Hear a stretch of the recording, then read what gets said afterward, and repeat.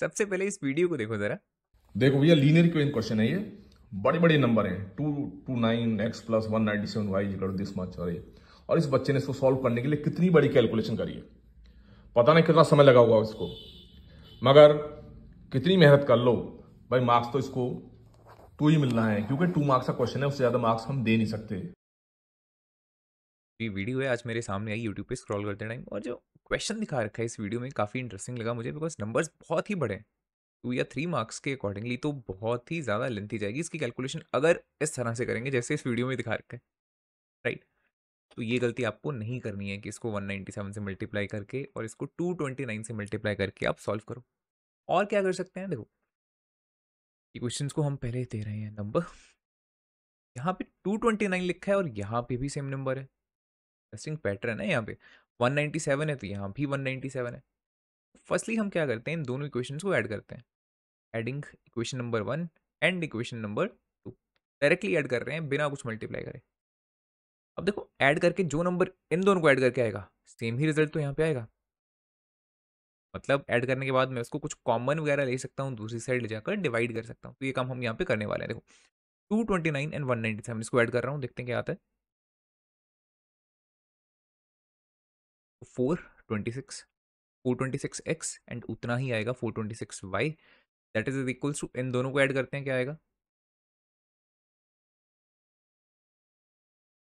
To one three zero हाँ से four twenty six को हमने लिया common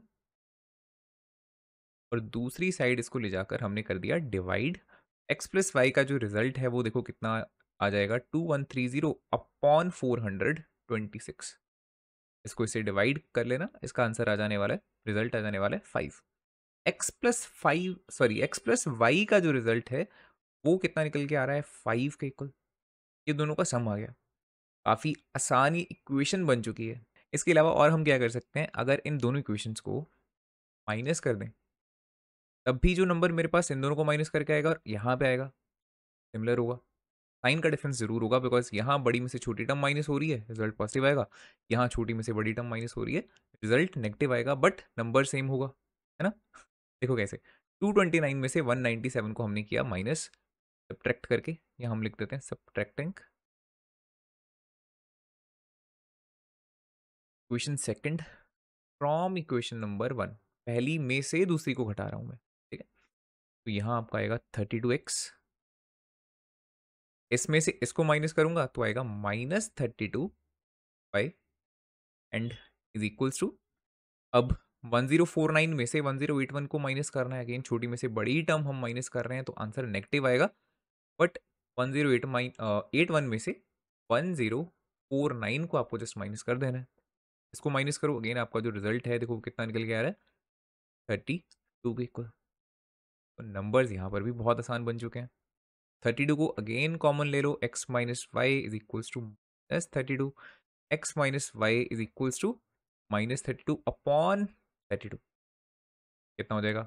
Minus one so x minus y की वैल्यू आपकी निकल के आ रही है माइनस वन अब बेसिकली क्या है? क्वेश्चन ये ना होकर क्वेश्चन इन दोनों इक्वेशंस में सिमट चुका है। इक्वेशन नंबर थ्री और इक्वेशन नंबर फोर अब इन दोनों इक्वेशंस को अगर हम यहाँ पे लिख लेते हैं x plus y is equals to five and x minus y is equals to minus one इनको अब सॉल्व कर लेते हैं। देखो डायरेक्टली ऐड कर देते हैं इन दोनों इक्वेशंस को।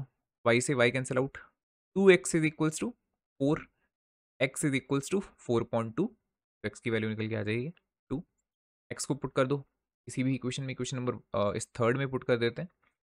तो x plus y is equals to five so two plus y is equals to five, so y की वैल्यू आपकी कितनी आ जाएगी? थ्री, फाइव में से टू माइनस हो गया। तो इस तरह से इसको हम सॉल्व करेंगे, सो so दैट बहुत ज़्यादा लेंथी इक्वेशन ना जाए।